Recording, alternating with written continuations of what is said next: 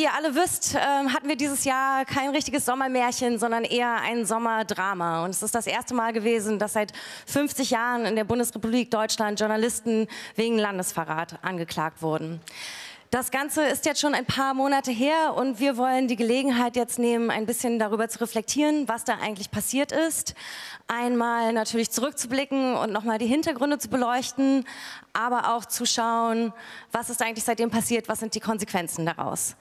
Und um das jetzt zu tun, begrüßt bitte ganz herzlich mit mir den Gründer und Herausgeber von Netzpolitik und unseren Lieblingslandesverräter Markus Beckedahl.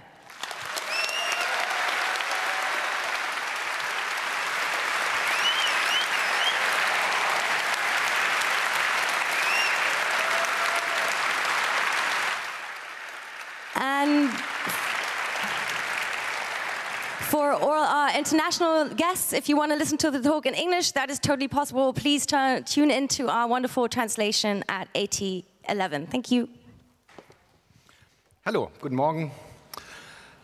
Um,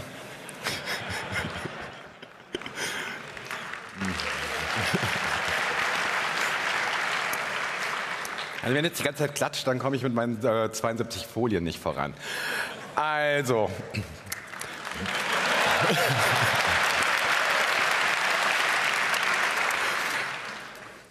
André kann leider nicht hier sein, der muss sich gerade sonnen, also in der richtigen Sonne.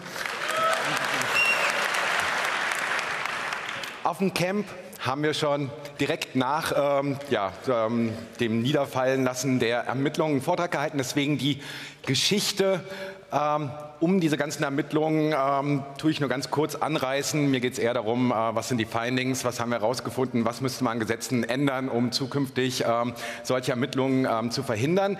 Ähm, wer sich für die ganzen Hintergründe nochmal interessiert, wie gesagt, der Camp-Vortrag ist online. Ähm, ja, kann man sich kostenlos, glaube ich, herunterladen.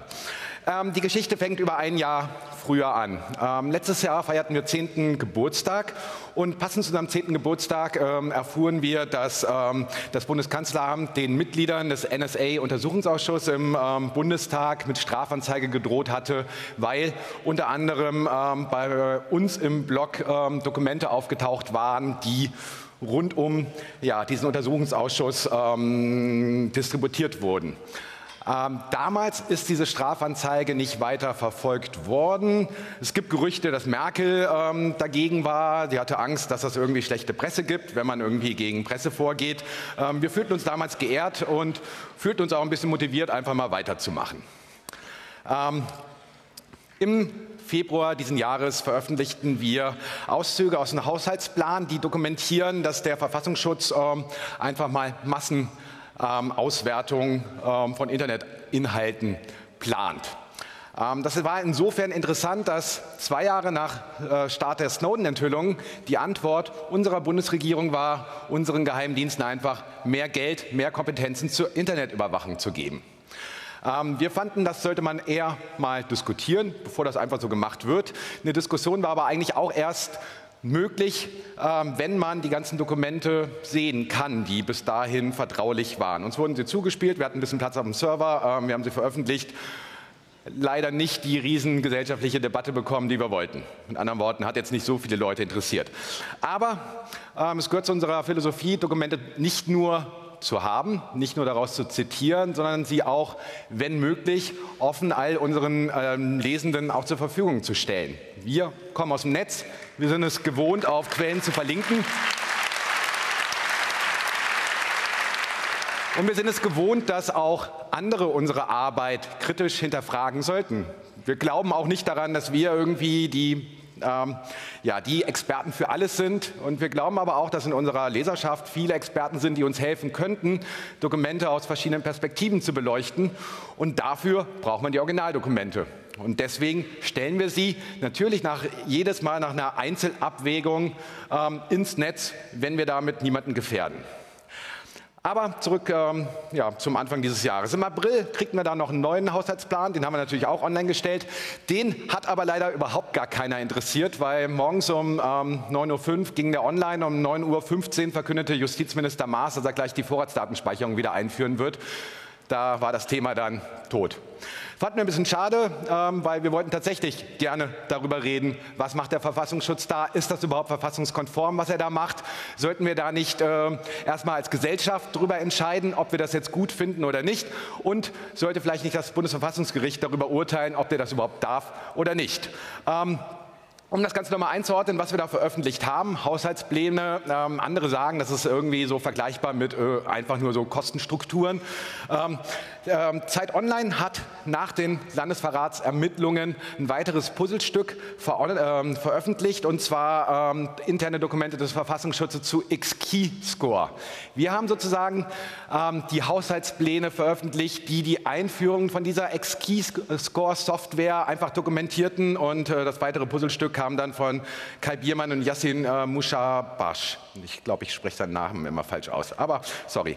Ähm, am 4. Juli erfuhren wir dann aus einem ähm, Radiodienst, dass ein Internetdienst äh, zwei Artikel veröffentlicht habe in den Monaten Februar und April, äh, weswegen der Verfassungsschutzpräsident an Strafanzeige gestellt hätte. Ähm, kein Fun Fact ist, einen Tag vorher ist das Verfassungsschutzgesetz mit mehr Befugnissen für den Verfassungsschutz durch den Bundestag gegangen. Möglicherweise gab es einen Zusammenhang, dass diese Geschichte über so einen ähm, verfassungsschutzfreundlichen Deutschlandfunk-Journalisten ähm, genau einen Tag später und nicht früher lanciert würde. Möglicherweise hätten die ganzen Landesverratsermittlungen oder der Medienhype dazu führen können, dass mehr Augen auf dieses Verfassungsschutzgesetz geschaut hätten. Gab es aber nicht. Wir waren erstmal ein bisschen verwundert. Also erstmal stellten wir dann fest, dieser Internetdienst sind offensichtlich wir. Ähm, dann dachten wir so, kommt eigentlich sowas häufiger vor, dass so Strafanzeigen gestellt werden. Haben wir auch erstmal bei den ähm, Gewerkschaften der Journalisten und so weiter angerufen, mal nachgefragt, dachten, die kennen sich damit aus. Ja, so, ja, keine Ahnung, so vielleicht in den 90ern das letzte Mal. Äh, da dachten wir so, hm, irgendwas ist da komisch. Haben dann am Montag direkt beim ähm, Verfassungsschutz, beim Generalbundesanwalt mal angerufen, mal nachgefragt. Die wollten uns natürlich nichts sagen. Und haben das erstmal geblockt und äh, warteten dann drauf. Wir wussten nur, laut diesem lancierten Artikel im Deutschlandfunk ging es um Verrat von Dienstgeheimnissen. Da gibt es halt Urteile vom Bundesverfassungsgericht. Mit anderen Worten, es wäre ähm, schlecht für unsere Quellen gewesen, aber wir wären da noch raus gewesen als äh, Einzelperson. Und dann am 30. Ähm, Juli ähm, gab es ein Schreiben, was zumindest unseren Redaktionsalltag dann ein bisschen über den äh, Haufen geworfen hat. Ähm, der Generalbundesanwalt teilt uns mit, dass Ermittlungen wegen Landesverrats gegen André, gegen unsere Quellen und gegen mich laufen würden, und zwar schon seit äh, Mitte Mai. Dachten wir, gut. Hm.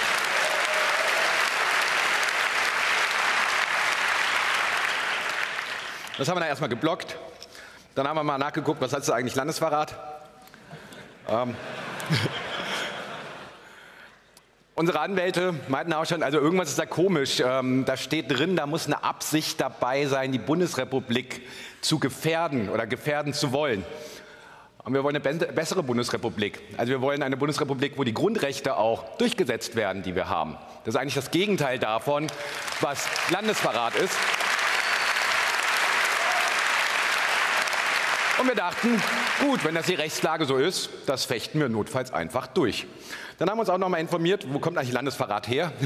Ich meine, das kannte man nur ein bisschen so Spiegelaffäre, so aus den Geschichtsbüchern, ging noch sogar weiter, Erich Kästner und so weiter.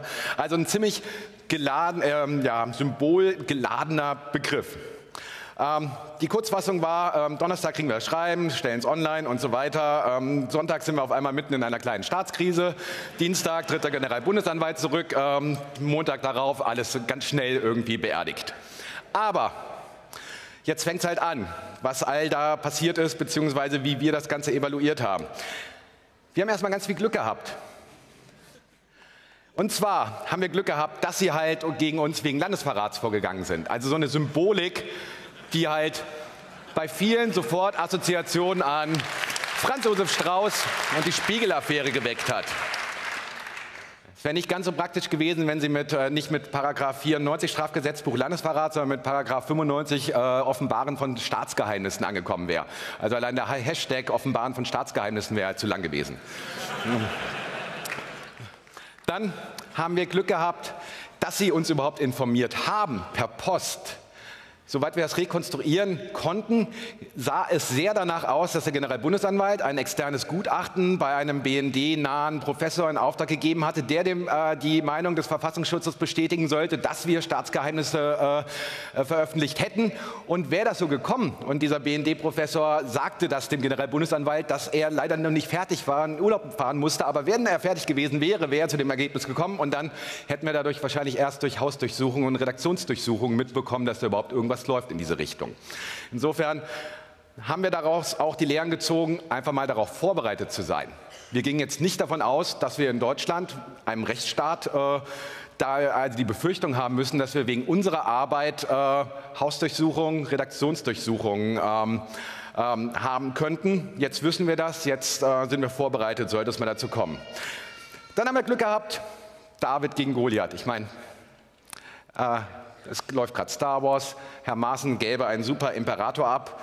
Ähm, wir sind die Rebellen. Also neben David Goliath hätte auch irgendwie Star Wars irgendwie ganz gut gepasst. Auf jeden Fall diese Riesensymbolik ähm, haben wir einfach Glück gehabt. Und wir hatten schon mal so eine Art Stresstest vor sechs Jahren. Da haben wir ähm, interne Dokumente der ähm, Deutschen Bahn veröffentlicht ähm, konnten so ein bisschen die Mechanismen von neuen Öffentlichkeiten na, bei so einer David-Goliath-Situation, Streisand-Effekt und so weiter irgendwie ähm, testen. Und das konnten wir jetzt nochmal irgendwie in groß ähm, bespielen. Und vor allen Dingen das größte Glück, was wir hatten, war, wir sind mitten ins Sommerloch gefallen. Also zwei Wochen vorher wären wir halt wahrscheinlich in Griechenland untergegangen, zwei Wochen später in der Flüchtlingskrise. Aber genau zu dem Zeitpunkt, wo wir halt dieses Schreiben bekamen, passierte echt nichts. Ne? Total super.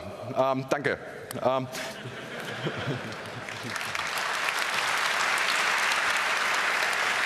Wir mussten aber erstmal unter Beweis stellen, dass wir gute Staatsbürger sind. Ähm, gleichzeitig hat man noch, die, das war ja auch eine lustigste Sache, ähm, die Bundesregierung hat oder der, ähm, die Deutsche Bank als Standortinitiative des BDI zusammen mit dem Bundespräsidenten hatte uns da auch noch so eine Urkunde geschickt, weil wir Deutschland Land der Ideen ausgezeichneter Ort waren. Wir wussten bis zu dem Zeitpunkt gar nicht, was fangen wir mit dieser Auszeichnung an, sollen wir es überhaupt kommunizieren.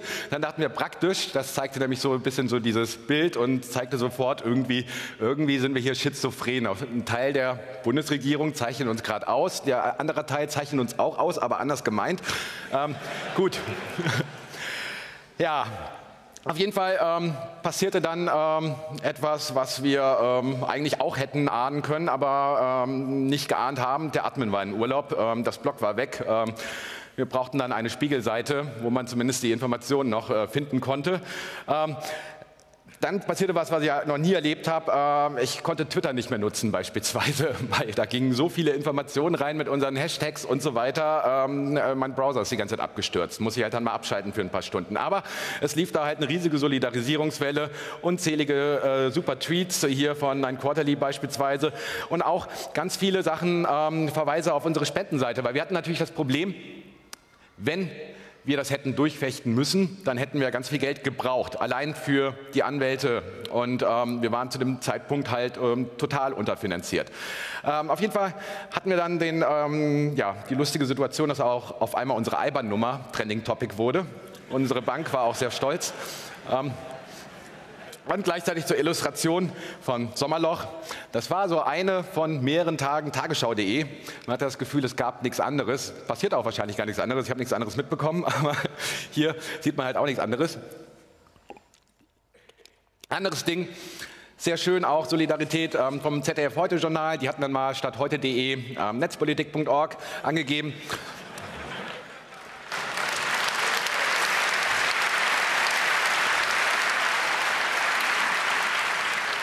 Ja, dann war der Server auch wieder weg. Ähm, wir haben aber jetzt neue. Also, falls nochmal sowas passiert, können wir ein bisschen mehr Last vertragen. Ja, also wir mussten dann halt auch irgendwie ein bisschen noch bessere Staatsbürger abgeben. Und dann ging es halt ähm, Also die ganze Presse war größtenteils bei uns und hinter uns. Das äh, hatten wir gehofft, aber in dieser äh, ähm, also, äh, riesigen Solidarität gar nicht erwartet. Äh, das war auf jeden Fall sehr toll, irgendwie so Rückendeckung zu haben und vor allen Dingen sehr toll, wenn halt die ganzen Serie, ähm, die ganzen Sachen, die man sich selbst anschaut, auf einmal über einen berichten, wie ähm, Extra 3, Heute Show und so weiter. Das war das einzige Traurige, dass wir so richtig im Sommerloch waren, weil ähm, die hatten keine Fernsehsendung, sondern das haben, konnten das nur online machen.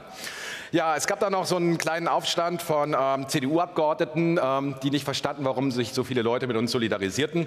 Jens Köppen links oben ist übrigens der Vorsitzende des Ausschusses für digitale Agenda im Deutschen Bundestag. Hm. Ähm, das ging aber auch nur so einen Tag. Ähm, die Leute, die was in der CDU-Bundestagsfraktion zu sagen hatten, hatten dann sofort am nächsten Tag irgendwie ihre Leute irgendwie unter Kontrolle und meinten so, das ist ein Spiel, das können wir nicht gewinnen. Ähm, das war auch ganz lustig. Herr Bosbach erklärte sofort irgendwie eineinhalb Tage später, so unverständlich die Einleitung des Ermittlungsverfahrens gegen das Block Netzpolitik aus rechtlichen, tatsächlichen Gründen auch war. Und dann ging es halt auf Angriff auf die SPD über. Aber das war so zumindest so für uns das Zeichen, okay, jetzt äh, tritt die Bundesregierung gerade ihren Rückzugskampf an. Nicht jeder hatte das verstanden. Äh, Hans-Peter Uhl glaubt immer noch, ähm, dass jetzt ähm, ISIS-Terroristen aus diesen Haushaltsplänen genau erfahren können, ähm, wie der Verfassungsschutz arbeitet. Ähm, ja, äh, Hans-Peter Uhl hat noch verschiedene andere Probleme, glaube ich. Auf jeden Fall was auch sehr praktisch war für uns, es war Sommer, ähm, wir hatten noch ein paar aus unserem Team und ein paar Freunde, die wollten unbedingt eine Demo machen. Wir dachten zuerst, naja, Demo, da stehen die üblichen Verdächtigen. Auf jeden Fall haben wir eine Demo gemacht, zweieinhalbtausend Leute kamen. Ähm, auch nochmal sehr hilfreich. um halt Bilder zu erzeugen. Aber eigentlich dachten wir so, nach zwei Tagen ist alles schon rum. Heiko Maas, der Justizminister, hatte zum ersten Mal seinen Urlaub unterbrechen müssen, ging vor die Presse, meinte, alles unter Kontrolle, gehen Sie weiter, gibt nichts zu sehen. Erste Interview, Anfragen wurden abgesagt, ähm, wir machten Party. Ähm, ja, und am nächsten Tag waren wir halt in einer Staatsaffäre, ähm, die aber auch quasi international ging.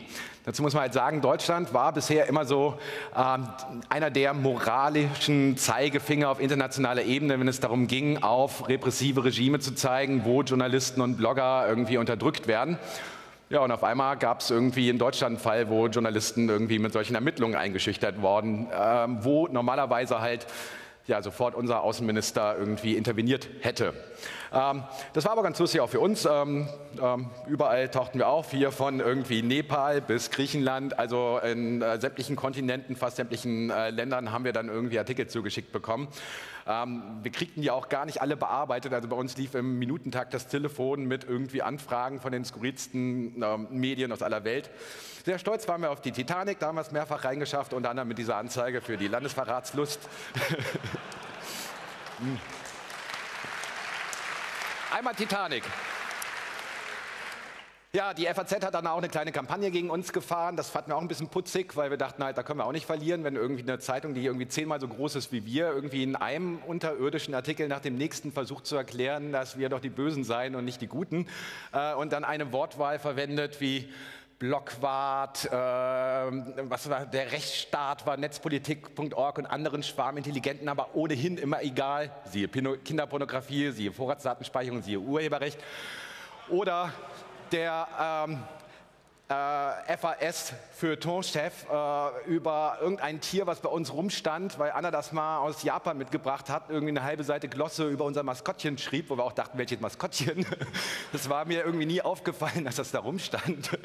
Ja, auf jeden Fall war das so ein ganz lustiges Ding, aber andererseits auch irgendwie total bizarr. Ne? Also die FAZ-Politikredaktion steht bei fast allen Themen genau auf der anderen Seite. Meinung, von der Meinung her und zeigte auf uns und sagte, das sind die Aktivisten so, wir sind die Journalisten. Ja, und versuchte uns halt irgendwie dieses äh, Presserechtsprivileg dadurch abzusprechen. Andererseits hatten wir das alle schon die letzten Jahre durchgespielt. Ähm, wir hatten schon offizielle Bestätigung von der Bundesregierung, Bundespressekonferenz und äh, Bundestag, dass wir Journalisten seien, weil die haben uns Ausweise als Journalisten ausgestellt. Dann hatten wir noch so einen kleinen anderen Nebenkriegsschauplatz. Äh, ähm, wir haben mal ähm, ein Fernsehteam von Russia Today rausgeschmissen. Das hing damit zusammen, das waren die einzigen, die sich nicht angemeldet hatten und auf einmal bei uns im Büro standen, anfingen zu filmen und wir waren der Meinung, das ging nicht nur in Richtung Russland, sondern wir reden nicht mit Staatsmedien, die uns instrumentalisieren wollen, um irgendwie äh, Pressefreiheitseinschränkungen äh, in den eigenen Ländern zu relativieren. Also wir haben gesagt, wir reden nicht mit äh, Staatsmedien in deren Ländern Journalisten unterdrückt werden, Journalisten mit in ihrem Leben gefährdet werden. Und dazu zählte Russland, das haben wir auch getwittert, dann hatten wir aber auf einmal die ganzen Verschwörungstheoretiker irgendwie noch als äh, Nebenkriegsschauplatz, die dann irgendwie, ich habe noch nie so viele Morddrohungen erhalten, weil ich auf einmal für den Ukraine-Konflikt zuständig war, weil ich mal vor 13 Jahren bei der Grünen Jugend war. Also ich habe es nicht so ganz verstanden, so, ne? aber politische Bildung ist leider in den letzten Jahren irgendwie ganz schön zusammengekürzt worden. Ich glaube, wir brauchen da noch mal ein bisschen mehr Geld im Haushalt. Aber kommen wir mal zu Aktenzeichen XY ungelost. Wir fragen uns immer noch, warum? Also warum, warum hat der Generalbundesanwalt überhaupt diese Ermittlungen gestartet, wenn eigentlich jedem sofort hätte klar werden können, diese Absicht der Bundesrepublik zu schädigen, ist gar nicht vorhanden. Also kann, wir können uns das nur so vorstellen, dass es politischen Druck gab von Seiten des Verfassungsschutzes, von Seiten des Innenministeriums, möglicherweise von Seiten des Kanzleramtes. Ähm, ja, äh, die Frage ist aber auch, warum will niemand dafür verantwortlich sein? Dann, was halt auch ein ähm, bisschen ungeklärt war, oder beziehungsweise eigentlich relativ logisch dann irgendwann wurde. Wir hatten uns, als wir von dieser Meldung hörten, wegen äh, Verrats von Dienstgeheimnissen im Deutschlandfunk, wird jetzt wegen, gegen unsere Quellen ermittelt und sehr gründlich das Cicero-Urteil von 2007 durchgelesen. 2005 gab es eine Hausdurchsuchung beim Cicero, diesem Monatsmagazin. Daraufhin, ähm, weil es darum ging, dass irgendwie Verrat von Dienstgeheimnissen, irgendwelche Geheimnisse weitergegeben wurden an Journalisten und man versuchte damals BKA mit Chili zusammen ähm, bei, äh, bei äh, Redaktionsdurchsuchungen Hinweise auf die Quellen zu bekommen. Das äh, Bundesverfassungsgericht hat dann 2007 gesagt, wegen Verrat von Dienstgeheimnissen darf es sowas nicht mehr geben. In unserem Fall ist man dann sofort eine Nummer höher eingestiegen hat das mal getestet, ob man damit durchkommt. Wenn halt das eine vom Verfassungsgericht irgendwie ähm, verboten ist, probieren wir einfach mal Landesverrat aus. So. Ähm, wir hätten das Ganze gerne weiter durchgefochten und hätten gern ein neues Urteil bekommen, aber leider sind halt die Ermittlungen ziemlich schnell eingestellt worden, sodass uns die Möglichkeit genommen wurde, einfach vor Gericht das eindeutig zu klären, vor allen Dingen auch eindeutig zu klären, dass wir die ganze Zeit im Recht waren. Dann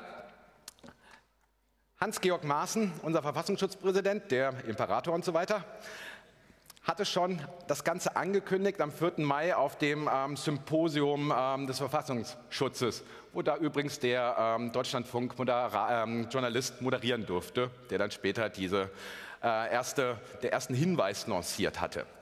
Ähm, er meinte schon damals, ähm, dass halt unsere Arbeit oder beziehungsweise dieses Leaken in Richtung von Journalisten wie uns die Arbeit äh, der Geheimdienste erheblich äh, beschädigt.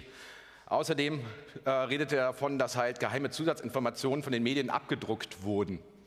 Also wir haben bisher noch keine Druckerpresse, wir stellen das ja alles ins Netz, aber okay. Ne? Aber wir haben das Ganze auch dann zum Anlass genommen, eine neue Aufkleberserie rauszubringen. Ähm, könnt ihr im Anschluss hier vorne links bekommen. Ähm,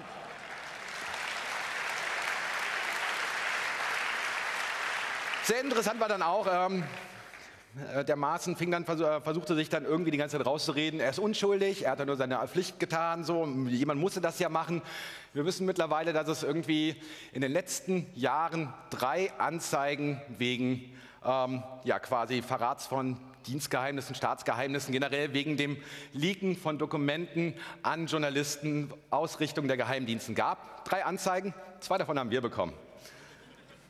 BND hat sowas noch nicht gemacht. Aber er meinte halt, das ist ganz normal, äh, versuchte zu suggerieren, dass das so ein ganz üblicher Vorgang wäre, so, ne? und äh, er übrigens damit überhaupt nichts zu tun hätte, weil die Anzeigen wären ja gegen unbekannt gestellt worden. Wir haben irgendwann die Anzeigen bekommen. Ähm, so sahen sie dann aus. Ähm, also quasi noch als Wink mit dem Soundfall äh, waren dann diese Anzeigen, die gegen unbekannt waren, auch mit unseren Namen noch ausgestattet. Vor allen Dingen hat es der Verfassungsschutz geschafft, in zwei Anzeigen meinen Namen zweimal falsch zu schreiben. Also zum Glück gibt es ja wahrscheinlich keine Person in Deutschland, die irgendwie so ähnlich heißt. Ne? Aber das Problem war halt, ähm, ja, was, was, bedeutet es, wenn man auf einmal wegen einem ja, falschen Namen irgendwie verdächtiger wird? Okay, ich muss mich ein bisschen beeilen.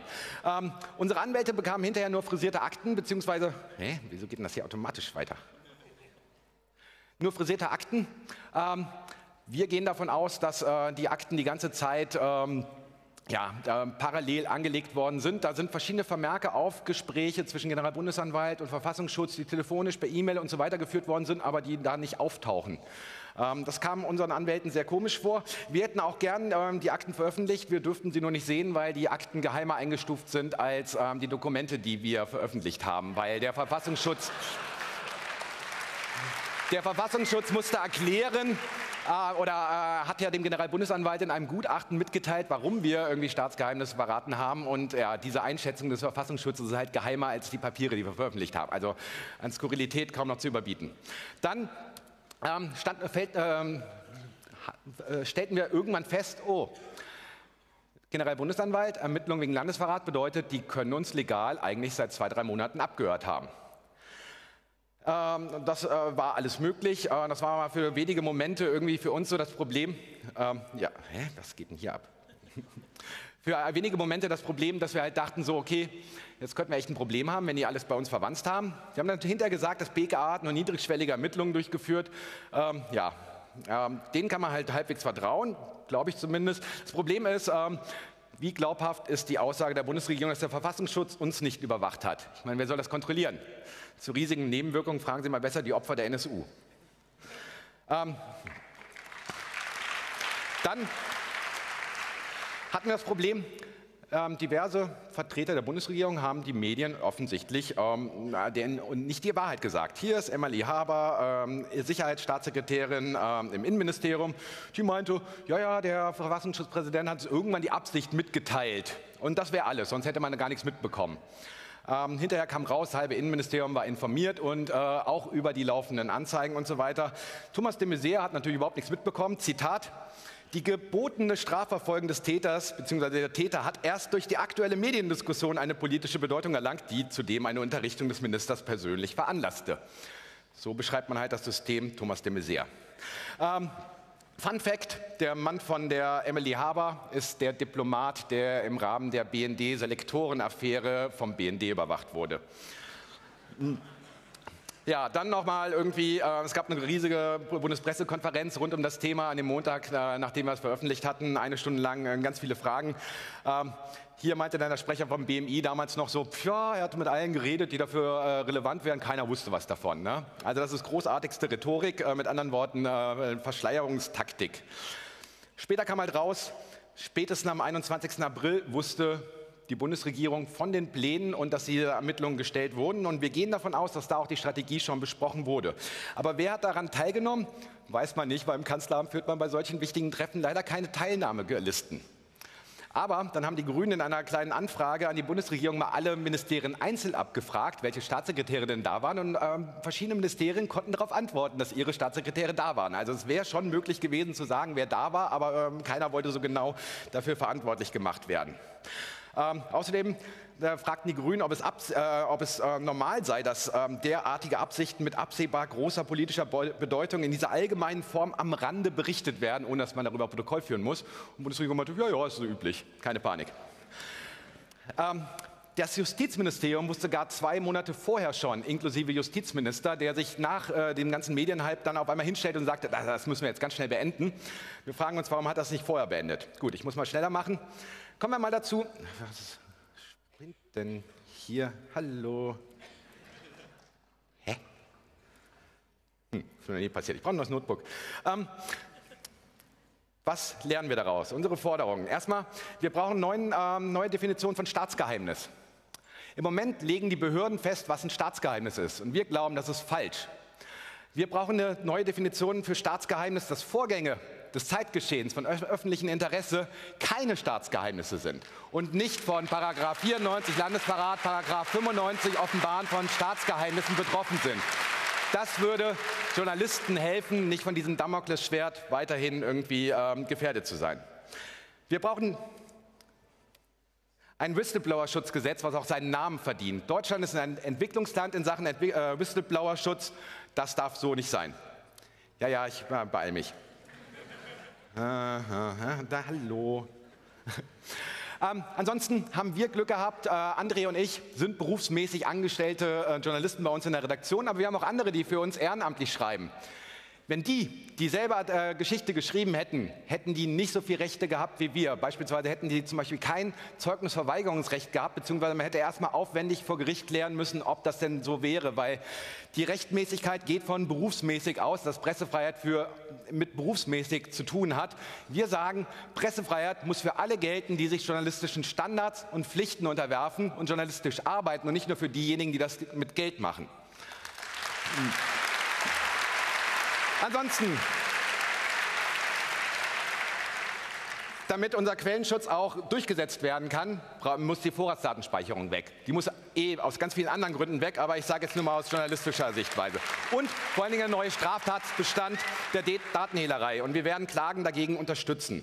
Außerdem brauchen wir einen Ausstieg aus der Massenüberwachung und eine Kontrolle der Geheimdienste. Also der richtige Skandal neben Landesverrat ist, dass zwei Jahre nach Start der Snowden-Enthüllung das Ganze als Machbarkeitsstudie angesehen wird und die Überwachung massiv ausgebaut wird durch diese Bundesregierung. Was wir noch sagen wollen, ähm, niemals aufgeben. Wir machen weiter, trotz Massenüberwachung und allem. Ähm, wir fanden es ein bisschen schade, dass die Kampagne so schnell vorüber war. Wir hatten noch so viele Ideen, was man noch alles machen könnte. Ähm, wir nehmen gerne Dokumente an und als Dankeschön ähm, für die Landesverratsermittlungen haben wir dann noch kurz die BND-Strategie zur ähm, Ausbau der Netzüberwachung geleakt. Könnt ihr auch bei uns nachlesen.